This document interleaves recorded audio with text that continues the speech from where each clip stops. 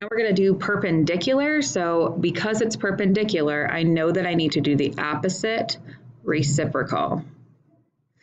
So that's reciprocal. So here I know my slope is 4, and I know it's 4 because that's the term that's in front of my x. So with it being 4, the opposite of positive 4 is negative 4, and then this 4 is really 4 over 1. So when I flip it, I know my new slope is negative 1 fourth. So I can go over here and say, well, I know it can't be this one, and I know it can't be this one because they had different slopes. So it's got to be one of these two. Now, there's two ways to do this. The right way to do it is write down y equals mx plus b. Put in your slope that you discovered from doing the perpendicular. Then take this point and plug it in the equation. So we know that the negative 8 is the x. So I'm going to write negative 8, and I'm just going to put it over 1.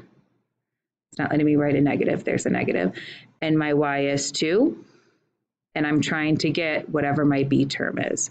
So when I do this multiplication, I get a negative 1 times negative 8 is positive 8.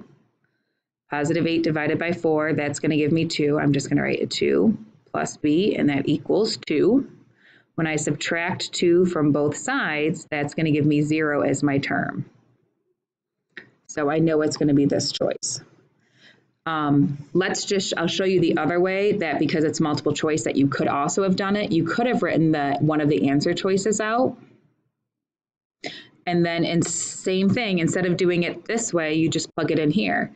2 equals negative 1 fourth times negative 8 plus 4.